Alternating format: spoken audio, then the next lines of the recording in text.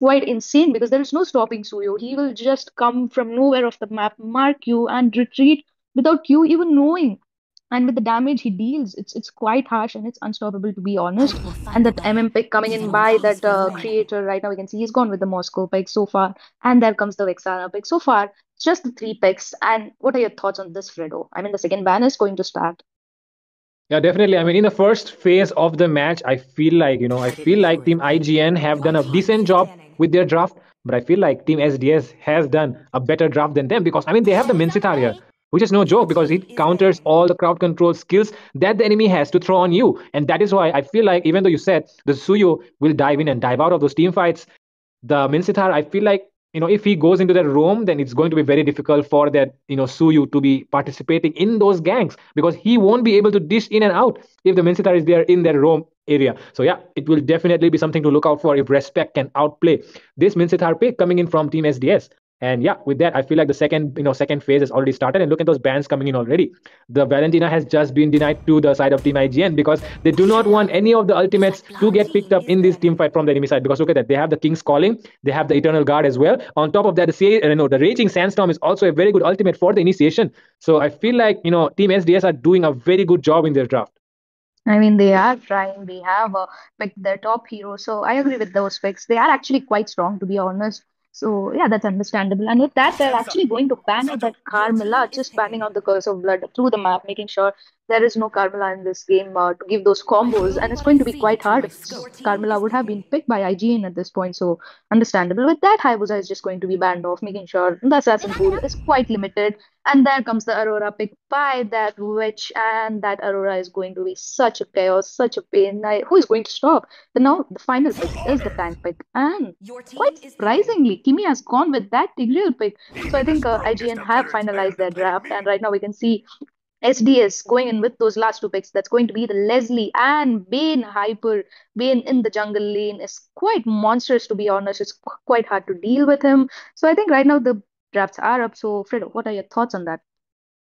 Well, definitely, I feel like you know both the teams have done a pretty good job with their drafts. The last picks coming in from IGN, the Aurora and the Tigreal, those are two very good picks. But the Tigreal against the Minsitthar, again, like I'm saying, this Minsitthar is the key to victory here for the side of Team SDS. They have to utilize the Minsitthar to his max potential because the enemy heroes are just all you know all countered by him, and that is why the Minsitthar will be the key to victory here for Team SDS. And with that, I feel like we are going to witness a very exciting match because SDS has done a very good job against Team IGN, at least in their draft for now. Yep, we are in the land of dawn, guys, and the game has already begun. And right now, we can see that Suyou is going for the red buff, while meanwhile, we can see that Bane is going for the blue. And Khalid already on the map of uh, IGN. That confidence is what I need in my life, to be honest. The flicker was baited out, but the retribution landed on time. Khalid overextension will be paying off wildly, to be honest. So I just realized that Khalid is going to be the roamer and Minsitthar is going to be the EXP laner. So Khalid is going to make sure that all the buffs are being interrupted. But for how long? The first blood is already given off. And right now we can see that flicker from that Vexana went almost caught, but that flicker was quite handy. Definitely, but it's a very big resource, you know, to be used before the first turtle. And look at that in the gold lane, though. Look at that fight going on between those two gold laners. It feels like definitely Team SDS is winning out. I do agree. SDS is kind of winning out, but for how long? Because the backup has come. There is Bane, who is already level 4. Suyou, who is still struggling to be level 4. To be honest, I was not expecting that, but that is the reality. And uh, that retribution from the from the Suyou will be used off. I mean, the turtle is going to up, the retribution will be there, but uh, right now I can just see the poking coming off from both. But I just realized that Suyou don't have to be level 4 to engage in the team fight, so yeah, that is actually a plus point about Suyou. Just level 3 and you can go into those team fights and knock out the enemies. There is Phoveus in quite a tough position. Yeah, right now it feels like he's trying to do a 3v1 there. He definitely knows he cannot take those blows early in the match. So he has to back off there. And it feels like the turtle is already started by the Suyou though, but it will be reset immediately. That Khalid trying to zone him out. And the Phoveus has dived in onto that Bane right now and feels like the deadly catch has been used as well. Phoveus takes down the Bane already. Frigid Glacier connects onto three members though. Double kill for Anti. And it feels like Vivitch will be the one taking that kill on that Vexana there. And four kills already into the favor of IGN. Oh my god, what a good start to the game game for Team IGN. Yep, but the creator might be in trouble or not really. Just a recall, but the first lord will be taken by IGN.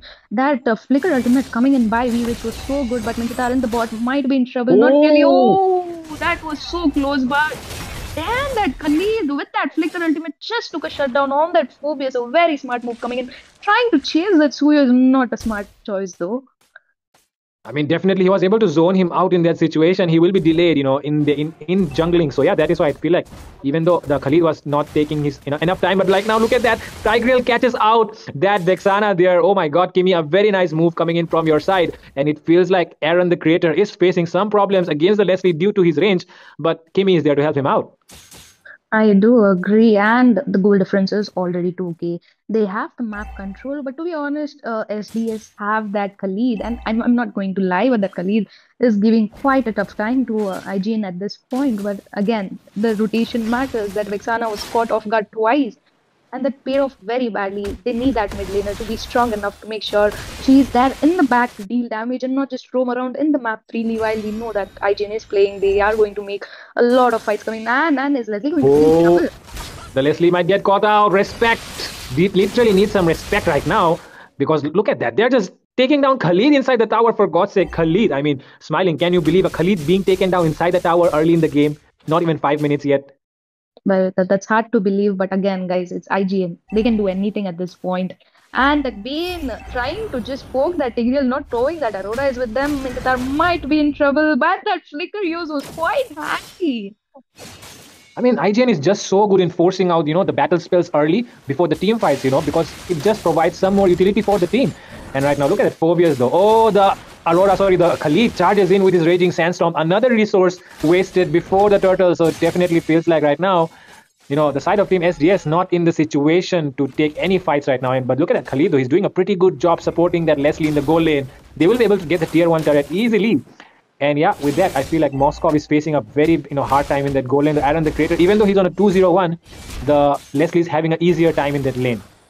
I mean, uh, with the Bane and that Khalid were like, we know we are not going to get the turtle, so let's just go in for the split push. A tier is actually in managed to take that, so I think that was a good thinking coming in. But there goes Aurora, there goes Tigreal. Yeah, definitely feels like, oh, look at the engage though coming in from the Khalid. Trading stamps from Dun doesn't connect in the best way possible. And that is why they were not able to take down that Aurora the Phoveus and the Tigreal as well. You know, look at that HP. They're barely able to survive. If that, uh, you know, if his ultimate Raging Sandstorm connected there, it was definitely a sure kill there. But right now, look at that respect. He's trying to gank in on that Leslie. He knows he's there. He's able to take down, you know, zone him out there. And that is why they will get the tier one as well. Yep, IGN ve- playing very, very organizingly. They are focusing on the objectives. They have the 8 kill, they have 3 gig goal lead, they have the 2 turtle, and the third turtle is going to spawn, but not quite easily. And in the bot, again, SD is going in for that split push composition at this point, but there is Tigreal just to make sure that minions are on hold. And to be honest, SDS are giving tough time, but they are missing out quite a few points. There is Leslie. They better be marking that Leslie quite often because she is on 0 and 0, but it's going to be hard if she's just farmed up to that position that she can melt them down. So yeah, I don't think that's going to happen, but I'm just, you know, mentioning it out if wanted. But right now, Anti might be in trouble because he is in the 4v1 situation. And will keep Yeah, definitely. on. Definitely, but look at that EXP lane though. Right now, it feels like the Minsitthar will get caught out as well. 1v1 trade in the opposite side of the maps, but it feels like look at that IGN players. No, they definitely prioritize the lane with the. Oh, look at that, Aaron the creator. You did a very big mistake there. He will be going down. I feel. Yeah, he will be going down there. And the turret, you know, sorry, the Moskov will be going down, but the turtle definitely goes into the side of Team IGN again. I mean, that Bane is not stopping. The Bane is just pushing from top to bot, bot to top, and that Tigreal will be taken down as well. Yeah, look at that. Leslie as well taken down. Phoveus jumps in, shut down, secured there by Anti. And look at that respect coming in in the right times for the cleanup. The you know the Khalid. I do not feel like he can escape there. Look at that Vexana as well, taken down already. Khalid taken down as well. Almost a wiped out if not for that Minsitthar there. Oh my God, it's a total domination coming in from Team IGN. I do agree. The domination is so hard that it's so hard to deal with, and Minsitthar just charging that ultimate. And there is Leslie to give those shots. I mean, she tried, but it was not possible enough. They are going in for the mid tier, and now the map is open for IG, and They can go in for the buff steal. They can go in for the fight and composition they need. I mean, it's just just it's, it's not even nine minutes in the game. They have taken so many players down. They are on 13 kills. They have the core lead. The first Lord is going to spawn, so they have the whole map control at this point. Bane is trying, but Bane is not in the team fight. Bane is going for the split push. They are trying to catch out one member in one side rather than you know going in for the team fights. Definitely. I mean, the fact that Witch is on that Aurora, Which is on that Aurora is the biggest, you know, is the biggest problem for SDS right now because even if they want to look for the engage, the Aurora with her Frigid Glacier is there to counter engage on you. So, it, you know, you definitely have to bait out that, you know, Frigid Glacier before you go in for the engage right now. And that is why they are not able to win in those team fights.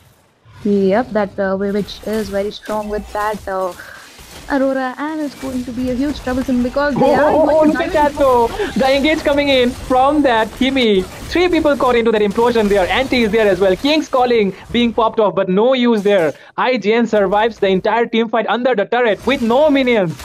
And oh my goodness, oh my goodness. What a you know what a gameplay, such a beautiful gameplay coming in from IGN there. I mean that Kimi with the flicker was the best thing I ever saw till today just diving into that turret and that Phoveus managing to secure those triple kill. They are definitely going to go with the Lord. They're just going to make sure the Lord is taken out without any contest. They have the lead, they have the damage, they have the map control. They can at this point, you know, end with the first Lord. To be honest, they are IGN. They can uh, wipe out them and end the game very easily because come on, they're IGN. There is a we which right now in the bot lane, uh, just making sure to clear those minion off because I think they are going to quite synchronize the lane if possible, or they might just go in for that dominating and uh, they are going to make sure that uh, they might and possibly there is Khalid to provide vision, but I think too much further Khalid. They need to go for the defense mode right now. Definitely, it feels like they have to defend this Lord. Look at that lane sync as well coming in from IGN there. You know, all the three lanes marching at the same time. And look at that, Bane has forced to use his deadly catch early. And that means right now, Kimi can look for that key boy moment again. But, you know, the Lord is taken down way too early for do you know, for them to do that. And it definitely feels like we have to wait for Kimi to do that key boy moment again just a while ago. I mean, the flicker is still on cooldown. Or probably not the flicker, there's only no flicker. There is a fight already.